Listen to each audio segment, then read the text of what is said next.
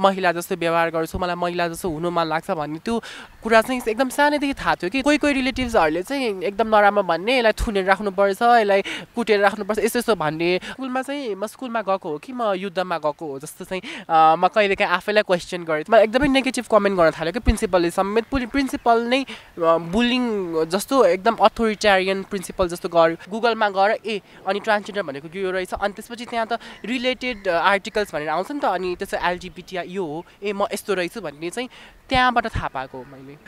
भर्खर भर्खरै स्टार्ट भएको रिलेसन हो। तर अब फेरि अब प्र्याक्टिकल हुँदाखेरि चाहिँ अलिकति अब सोसाइटीमा कस्तो हुन्छ भन्ने म कहिले ट्रेडिसनलमा हुन्छु म कहिले सिम्पलमा हुन्छु म कहिले एकदम सेक्सीमा हुन्छु होइन? त्यो त मा जस्तो नि मलाई कम्फर्टेबल छ। हामीले यिनीहरूलाई रिप्लाई गरेन भने यिनीहरूले झनै हामीलाई धेरै नै हेप्छ यिनीहरूलाई रिप्लाई गर्नै पर्छ। हामी पनि तपाईँहरू जस्तै नै मान्छे नै हो होइन? अनि हामीलाई चाहिँ अर्कै यो मङ्गल ग्रहबाट झरेको त पक्कै पनि होइन।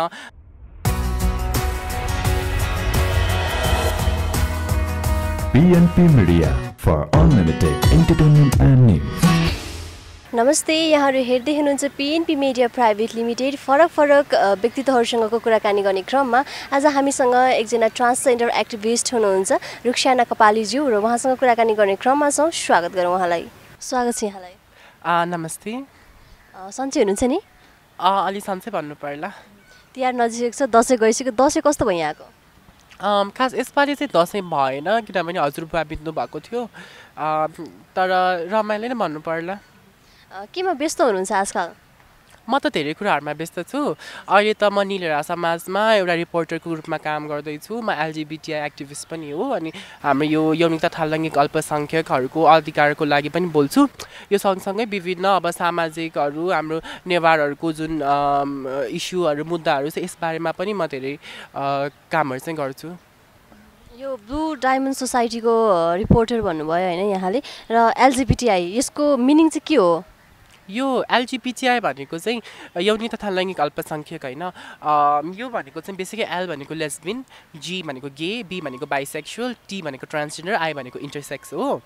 अब यो भनेको चाहिँ हाम्रो अब जुन समाजमा भन्छ एउटा सबैभन्दा सुरुमा म इन्टरसेक्सबाट चाहिँ व्याख्या गरौँ होइन? इन्टरसेक्स भनेको चाहिँ जो शारीरिक रूपमा उहाँको पुरुषको यौन अङ्ग हो कि महिलाको यौन अङ्ग हो त्यो छुट्टिँदैन वा दुबै हुन्छ त्यस्तोलाई चाहिँ हामी इन्टरसेक्स भन्छौँ होइन? ट्रान्सजेन्डर भनेको चाहिँ जो उहाँ शारीरिक रूपमा पुरुष हुनु हुन्छ भने उहाँ मानसिक रूपमा महिला जस्तो व्यवहार हुन्छ उहाँको चालचलन महिलाको जस्तो हुन्छ वा शारीरिक रूपमा महिला हुनुहुन्छ भने मानसिक रूपमा चाहिँ उहाँ पुरुष सरह हुनुहुन्छ। अनि यसै गरी यो लेसबी लेस्बिन र गे भनेको चाहिँ जो समान लिङ्गतर्फ आकर्षित हुन्छ जो महिला भएर महिलातर्फै आकर्षित हुनुहुन्छ वा पुरुष भएर पुरुषतर्फै आकर्षित हुनुहुन्छ उहाँहरू चाहिँ समलिङ्गी होमोसेक्सुअल गे र लेस्बिन हुन्। हजुरलाई पनि अब समाजले चिन्दा चाहिँ ट्रान्सजेन्डर भनेर चिनिन्छ होइन? कति भयो ट्रा जेन्डर ट्रान्सफर्म गर्नुभयो अब यो कस्तो हुन्छ भने ट्रान्सजेन्डर भएपछि अब म जन्मिँदा चाहिँ बालक भएर मेल सेक्समा जन्मेको मान्छे अब हुर्किँदै अब ठुलो हुँदै जाँदाखेरि आफूलाई चाहिँ म अरूभन्दा फरक छु किनभने म महिला जस्तो व्यवहार गर्छु मलाई महिला जस्तो हुनु मन लाग्छ भन्ने त्यो कुरा चाहिँ एकदम सानैदेखि थाहा थियो कि। तर अब जुन हुन्छ समाजमा एक्सपोजर छैन अनि यसले गर्दाखेरि चाहिँ म ए ट्रान्सजेन्डर नै हो है भन्ने कुरा चाहिँ त्यो क त्यस्तो थाहा भएको हुँदैन कि। तर म फरक छु भन्ने चाहिँ थाहा थियो। अनि मैले विगत अब चार वर्ष अगाडि नै म स्कुलमा पास गर्ने बित्तिकै मैले विभिन्न यो हर्मोनहरू अनि सर्जरीहरूबाट चाहिँ यस्तो परिवर्तन चाहिँ भएको हो। कतिको फ्यामिली सपोर्ट हुन्छ नि रिलेटिभ सपोर्टहरू पाउनुभयो? सुरुवातमा त अब यो कुरा त धेरैलाई नयाँ नै लाग्छ एक्सपोजर छैन। परिवारमा सुरु सुरुमा अलिकति समस्या जस्तो भयो अनि आफन्तहरूको कामै त्यही हो कुस कुरा सुनाउने अनि त्यस्तो हुँदाखेरि अलिकति गाह्रो भएको थियो र बिस्तारै चाहिँ मैले यस्तो भनेको हुन्छ यस्तो यस्तो हो भन्ने कुरामा चाहिँ उहाँहरूलाई कन्भिन्स गर्दै लगाउँदा आजसम्म चाहिँ मलाई एकदमै राम्रो छ कि। फ्यामिलीहरूबाट चाहिँ अलिकति नेगेटिभ रेस्पोन्सहरू रिलेटिभ्सहरूबाट नेगेटिभ रेस्पोन्सहरू आउँदैन। अहिले चाहिँ आउँदै आउँदैन। अब आउँथ्यो। अँ पहिला चाहिँ आउँथ्यो भन्नाले अब को रिलेटिभ्स अब सबै रिलेटिभ्सलाई एउटै क्याटेगोरीमा नराखौँला। अब कोही कोही रिलेटिभ्सहरूले चाहिँ एकदम नराम्रो भन्ने यसलाई थुनेर राख्नुपर्छ यसलाई कुटेर राख्नुपर्छ यस्तो यस्तो भन्ने। अनि कोही कोही रिलेटिभ्सहरू चाहिँ फेरि राम्रो राम्रो गर्नुपर्छ यस्तो पनि हुन्छ है हामीले नबुझेको मात्रै हो भन्ने राम्रो राम्रो सुझाव दिने होइन? तर अहिलेसम्म आएर धेरै जस्तोले चाहिँ खासै कुरा काट्ने अनि त्यो चाहिँ पछाडि पछाडि त काट्छ अझ नै त्यो पनि थाहा छ तर त्यति साह्रो चाहिँ छैन अहिले। यो थुनेर राख्नुपर्छ कुट्नुपर्छ भन्ने जुन कुरा गर्नु भने यहाँले यस्तो हजुरलाई परेको छ कि छैन? अँ पढेको चाहिँ छैन फेरि। पढेको किन छैन भने मेरो फ्यामिली मेरो मम्मी ड्याडी चाहिँ सपोर्टिभ हुनुभएको अनि मेरो मम्मी ड्याडीले चाहिँ त्यस्तो भन्ने रिलेटिभ्सहरूलाई अँ तिम्रो बच्चालाई एक्चुली यसरी थुनेर राख तिम्रो बच्चालाई चाहिँ खाना नखुवाइकन राख। अनि तिमीलाई कस्तो फिल हुन्छ भन्ने टाइपको त्यसरी रिप्लाई गर्नुभएको थियो र मलाई यस्तो चाहिँ केही परेको चाहिँ छैन। फ्रेन्ड सर्कलमा हुन्छ नि स्कुल पढ्दाखेरि चाहिँ कस्तो समस्याहरू आयो यस्तो यो कारणले गर्दा?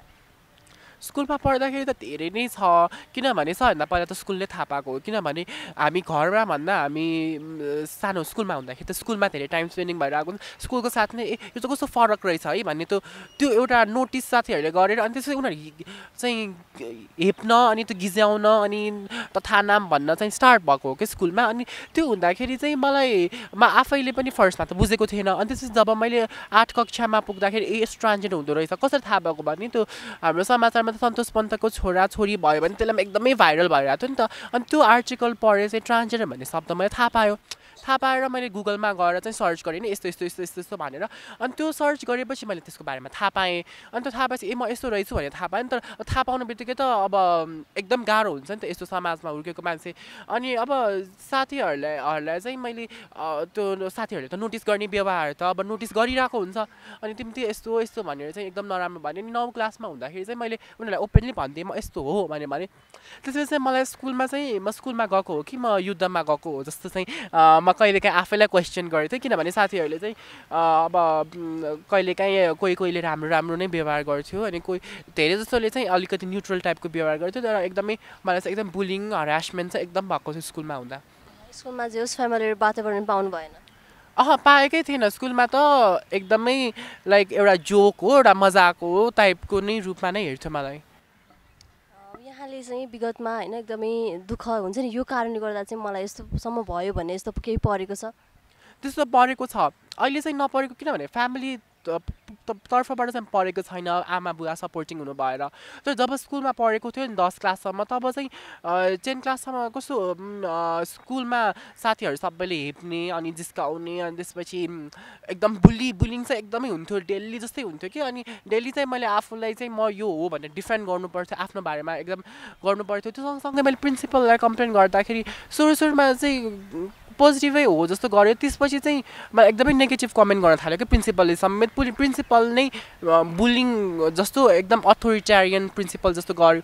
यतिसम्म भन्नुभयो कि अब जस्तै त्यो एसएलसीको फर्ममा भर्दाखेरि अब किनभने हामीलाई कानुनी रूपमा त प्रावधान छ नि त हामीले नाम परिवर्तन गर्न पाउँछ हामीले लिङ्गमा आफूले चाहेको लेख्न पाउँछ। त्यो त्यस्तो कुराहरूमा मैले गर्छु भन्दाखेरि अब यो मेरो स्कुल हो मैले भनेको जस्तो हुन्छ। तिमीले धेरै ऊ गऱ्यो भने चाहिँ म स्कुल स्कुलबाट रेस्ट्रिक्ट गर्छु भने मेरो फ्युचरमासँग पनि उहाँले ऊ क्वेसन गर्नुभयो कि? किनभने मलाई स्कुलबाट रेस्ट्रिक्ट गर्छु ट्रान्सजेन्डर भएको कारणले रेस्ट्रिक्ट गर्छु भन्दाखेरि चाहिँ त्यो एकदमै दुःख भनौँ न अहिलेसम्मको। प्रिन्सिपलको अब त्यो फर्महरू भर्ने क्रममा त्यस्तो दबाबमा चाहिँ कसरी भर्नुहुन्थ्यो त? अब त्यस्तो दबाबमा हुँदाखेरि त अब हुन्छ अब स्कुलमा पनि अब कपाल लामो पाल्छु अब यस्तो भन्दाखेरि किनभने न मैले नौ क्लासदेखि नै मैले त्यो अब पिल्सहरू लिएर चाहिँ शारीरिक परिवर्तन पनि गर्न सुरु गरेको हो कि। अनि अब म लामो कपालै पाल्छु अनि म स्कर्टमै लाएर होइन आफूलाई एउटा महिलाकै रूपमा प्रस्तुत गर्छु भन्दा उहाँले अब त्यस्तो तपाईँ तिमीले त्यस्तो गऱ्यो भने चाहिँ हामी तिमीलाई स्कुलबाट निकालिदिन्छौँ भन्ने खालको चाहिँ कुरा आएर अनि त्यही त्यही अब एज पुरुषकै रूपमा चाहिँ उहाँले त्यस्तो गर्नै पर्छ भन्ने चाहिँ उहाँले त्यस्तो बाध्य गर्नुभएको थियो। त्यो बेलासम्म चाहिँ यहाँ खुलेर चाहिँ आउनु भएको थिएन।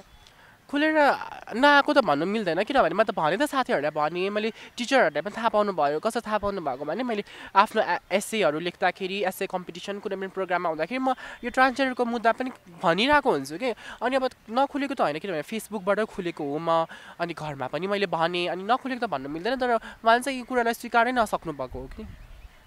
यहाँलाई चाहिँ फर्स्ट टाइम चाहिँ म चाहिँ यस्तो रहेछु है भनेर चाहिँ कसरी थाहा भयो? फर्स्टमा कसलाई सेयर गर्नुभयो?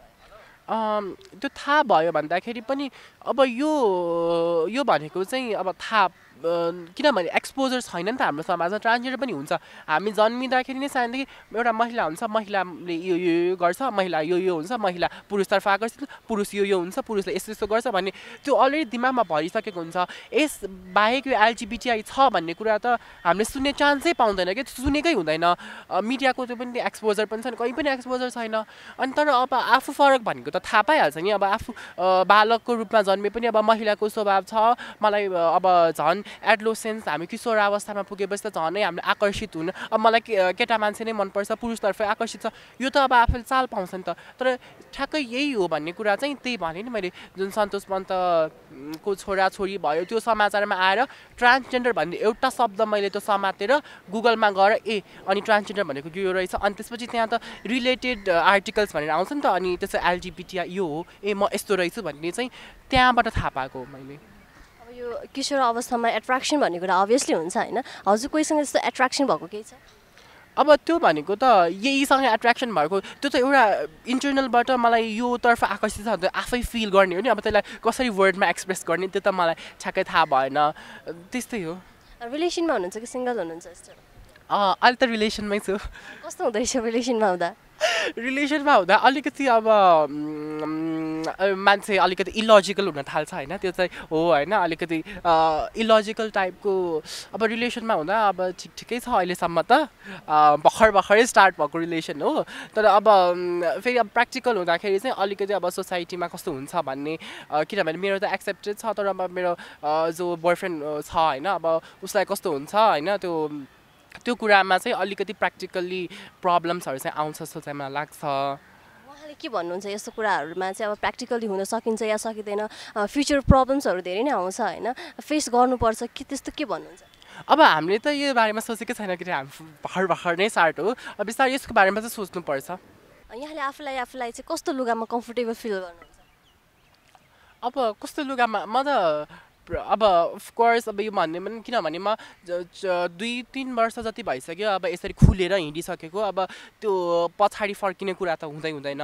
मलाई त जस्तो प्रायः जस्तो लुगा पाए पनि म कहिले ट्रेडिसनलमा हुन्छु म कहिले सिम्पलमा हुन्छु मा म कहिले एकदम सेक्सीमा हुन्छु होइन? त्यो त मा जस्तो नि मलाई कम्फर्टेबल छ अवस्था हेरेर वातावरण हेरेर कस्तो ठाउँमा अब के लाउने भन्ने पनि हुन्छ नि।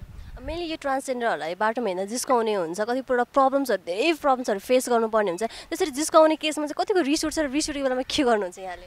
अब जिस्काउने भन्दा अहिले चाहिँ अब किनभने मैले अब त्यो पिल्सहरू लिएर अब सर्जरीहरू गरेर त्यो त्यो हुँदाखेरि चाहिँ खासै यो म ट्रान्सफर हो भने बाटोमा त्यति धेरै नचिन्ला। तर एकदम ल- लम्बु केटी छ भने चाहिँ त्यसरी भन्नेहरू चाहिँ छ। तर अब त्यो पहिला पहिला चाहिँ हुन्थ्यो होइन। अनि त्यसो गर्दाखेरि चाहिँ मेरो मुडमै भर पर्छ म कसरी रियाक्ट गर्छु भने। अनि कस्तो ठाउँमा गइरहेको छु अब म नयाँ ठाउँमा गइरहेको छु अब अर्कै ठाउँमा यहाँबाट टाढा गइरहेको छु भने मैले त नयाँ ठाउँमा त्यहाँ गएर चाहिँ मान्छेको मुख लाग्ने त्यस्तोहरू चाहिँ छैन। तर अब आफ्नै छरछिमेकमा छ भने चाहिँ अफकोर्स रिस त उठिहाल्छ किनभने नो कसैलाई पनि त्यो मन पर्दैन नि त्यस्तो आफूलाई नराम्रो भएको। तर अब त्यो चाहिँ मेरो मुडमा भर पर्छ किनभने कहिलेकाहीँ कस्तो लाग्छ भने होइन हामीले यिनीहरूलाई रिप्लाई गरेन भने यिनीहरूले झनै हामीलाई धेरै नै हेप्छ यिनीहरूलाई रिप्लाई गर्नै पर्छ।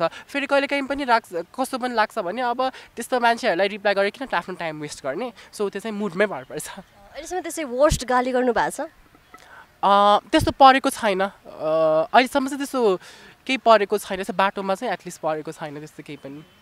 एकदमै नपरेको कसैले गाली चाहिँ गर्नु भएको छैन। गाली चाहिँ गरेको छैन र सायद अब गाली नै पनि त गर्दिनँ होला। गर्नुहुन्न त्यस्तो केसेसमा। होइन अब त्यो त्यो भनिराख्यो भने त त्यस्तो एकदमै नराम्रो भनेर आफ्नो अब उनीहरूको लागि किन आफ्नो लेभल घटाएर किन उ गर्ने भन्ने नबुझ्ने मान्छेहरूको लागि किन आफ्नो लेभल घटाएर बोल्ने जस्तो चाहिँ लाग्छ। अब हेरौँ के हुन्छ त्यो कन्डिसनमा भर पर्छ अहिले नै हामीले भनिराख्न सक्दिनँ। यो ब्लू डायमन्ड सोसाइटीको कुरा गरौँ होइन कतिको चाहिँ खुलेर चाहिँ आउनुहुन्छ ब्लू डायमन्ड सोसाइटीमा म यस्तो हो यो यस्तो समस्या छ भनेर कति आउनुहुन्छ? मान्छेहरू त धेरै आउनुहुन्छ होइन। अब कोही कोहीलाई चाहिँ अब केही त्यहाँ ब्लु डायमन्ड सोसाइटीमा पनि आउनलाई अलिकति अप्ठ्यारो भइरहेको होला। फेरि मलाई कसैले त्यहाँ आएको देख्यो भने के होला भन्ने त्यस्तो खालको सोचले वा कोही कोहीलाई अब नकारात्मक छाप परेर पनि नआउन सक्नु भएको होला। तर बिटिएसमा त हाम्रो धेरै मान्छेहरू सम्पर्कमा जस्तै म मिडियामा काम गर्छु होइन। हाम्रो पहिचान भन्ने कार्यक्रम छ जहिले पनि दिल्ली नै हुन्छ कि देशभरको सातवटा रेडियो एफएमबाट बजिरहेको हुन्छ। त्यो त्यो सुनेर पनि धेरै मान्छेहरू हाम्रो सम्पर्कमा आउनुहुन्छ कि। अब उहाँहरूलाई ए म पनि यस्तो रहेछ विशेष गरी चाहिँ हाम्रो ग्रामीण क्षेत्रमा हुन्छ नि जहाँ सूचना त्यति खासै प्रवाह गरेको हुँदैन उहाँ ए म पनि यस्तो म पनि यस्तो अनुभव गर्दैछु मैले पहिचान कार्यक्रम सुनेर चाहिँ मलाई यस्तो लागिरहेको छ उहाँहरू सम्पर्क गर्नुहुन्छ उहाँहरू आउनुहुन्छ। खास यो ब्लू डायमन्ड सोसाइटीले के के गर्छ त? के के गर्छ भन्दा नि हामी एउटा एकदम एलजिबिटी यही यौनिकता थालङ्गे अल्पसङ्ख्यकको अधि अधिकारकै लागि हो यो संस्था। अब यसमा यही मात्रै भन्ने छैन यसमा धेरै वाइड स्कोप छ। अब जस्तै म चाहिँ मिडियामा संलग्न छु हाम्रो चाहिँ सचेतनाको कार्यक्रम छ। यो सँगसँगै अरू साथीहरू एचआइभी एड्ससँग यौन रोगसँग पनि काम गर्नुहुन्छ। कोही मानव अधिकारको लागि कोही यो कानुनी परामर्शको लागि त्यस्तो विभिन्न क्षेत्र छ तर अल ओभर एलजिबिटिआईकै लागि हो? डिफ्रेन्ट डिफ्रेन्ट सेक्टरमा रहेर चाहिँ एजिबिटिआईकै लागि चाहिँ गरिन्छ। हजुर। अब तिहार नजिकै छ होइन? यहाँ मेल भएर जन्मिनु भयो। अहिलेसम्मको तिहार कस्तो थियो र अबको तिहार चाहिँ कस्तो हुन्छ? अब कस्तो हुन्छ भने हामी यस्तो समाजमा हुर्केको छौँ जहाँ कि महिला र पुरुषलाई लाइक छुट्टै संसार जस्तै छ कि? अब महिलाहरूले यस्तो गर्नुपर्छ पुरुषहरूले यस्तो गर्नुपर्छ। तर म धेरै थोरै त यस्तो कुराहरूलाई त मान्दिनँ होइन धेरै? तर अब यस फेरि यसपालि हजुरबुवा हुनुहुन्न अनि मनाउने कुरा त छैन। तर युजली हाम्रो मनाउँदाखेरि चाहिँ अब हाम्रो स्वन्ती भन्छ हाम्रो भाषामा चाहिँ। अनि यस्तो हुँदाखेरि हाम्रो लक्ष्मी लक्ष्मी पूजा लाइक नर्मल हुन्छ। त्यसपछि भोलिपल्ट हाम्रो न्यु इयर हो। अब न्यु इयरमा यसो ऱ्यालीहरू हुन्छ। अनि त्यसपछि हाम्रो मह पूजा हुन्छ जुन चाहिँ एकदम स्पेसल हो। अनि त्यसपछि किजा पूजा भन्छ भाइटिका हुन्छ होइन? अनि हाम्रो चाहिँ अब खास अब म पहिला अब मलाई फ्यामिली छोराकै रूपमा हेर्नुभएको भएर अहिलेसम्म त्यस्तो गरेको छैन। अनि मेरो भाइले पनि अब तिमी दिदी भइसक्यो अब भाइटिका गर्नुपर्छ भन्ने कुराहरू आइरहेछ तर अब योपालि हाम्रो फेस्टिभलै छैन। सायद अब पछि पछि चाहिँ यो गर्छौँ होला किजा पूजा पनि हामी मनाउँछौँ भन्ने चाहिँ मेरो सोच छ। योभन्दा अगाडि कहिले पनि तिहार चाहिँ मनाउनु भएको छैन यहाँले। भाइटिका गर्नु भएको छैन। योभन्दा छैन अगाडि चाहिँ छैन। यो इयर त भएन भनौँ होइन नेक्स्ट इयर चाहिँ हजुरले अभियसली भाइटिका गर्नुहुन्छ। सोचमा चाहिँ छु तर अब खै कस्तो हुन्छ त्यो चाहिँ थाहा भएन। अनि अब त्यो गर्दै नगर तिमी मैले तिमीलाई ट्रान्सजेन्डरको रूपमा एक्सेप्ट गरेको छैन तिमी गर्दै नगर भन्ने त्यस्तो खालले चाहिँ गर्न नसकेको होइन। तर अलिकति आफ्नै पर्सनल कारणले गर्दाखेरि चाहिँ मात्रै हो। तिहारको यहाँलाई शुभकामना दिन चाहन्छु र मैले सोध्नु छुट्याएको भन्न मन लागेको केही कुरा छ? त्यस्तो खासै त केही पनि छैन तपाईँलाई सोधिदिनु भयो होइन? मलाई बोल्ने मौका दिनुभयो यसमा तपाईँलाई पनि धेरै धेरै धन्यवाद छ। अन्त्यमा पिएनपी मिडिया हेरेर बस्नुभएको दर्शकहरूलाई के भन्न चाहनुहुन्छ? सबैभन्दा पहिला त म के भन्न चाहन्छु भने यो हाम्रो समाजमा चाहिँ एलजिबिटिआई भनेको धेरैजनाले बुझ्नु भएको छैन। सायद तपाईँहरूले पनि नबुझेर नै हामीलाई नराम्रो व्यवहार गरिराख्नु भएको छ होला। यस्तो चाहिँ नगर्नु होला। हामी पनि तपाईँहरू जस्तै नै मान्छे नै हो होइन? अनि हामीलाई चाहिँ अर्कै यो मङ्गल ग्रहबाट झरेको त पक्कै पनि होइन। तर अब यदि यदि यसबारे तपाईँहरूले बुझ्नु भएको छैन भने एकैछिन भए पनि आफ्नो व्यस्त जीवनबाट समय निकालेर यसो गुगलमा खोजेर होइन? यसरी यसरी बुझिदिनु होला हामीहरूलाई पनि। अनि यसो कोही पनि तपाईँको साथीभाइ त्यस्तो छ भने यसो नजिस्काइदिनु होला नहेपिदिनु होला हामीलाई पनि समान व्यवहार गरिदिनु होला। समयको लागि यहाँलाई धेरै धन्यवाद। धन्यवाद। तेस्रो लिङ्गी भनेर हामीले पक्कै पनि उहाँहरूलाई नहेपौँ नगिज्याउँ र अरूलाई जस्तै समान व्यवहार गरौँ र आफूले आफैलाई सभ्य नागरिकको परिचय दिउँ। पक्कै पनि हामीले यो भिडियो तपाईँहरूको लागि राखिसकेका छौँ। भिडियो हेरिसक्नु भएको छ। मन परेको खण्डमा लाइक गर्न सक्नुहुनेछ एन्ड अल्सो तपाईँले सब्सक्राइब पनि गर्न सक्नुहुनेछ हाम्रो official YouTube channel PNP media private लिमिटेडलाई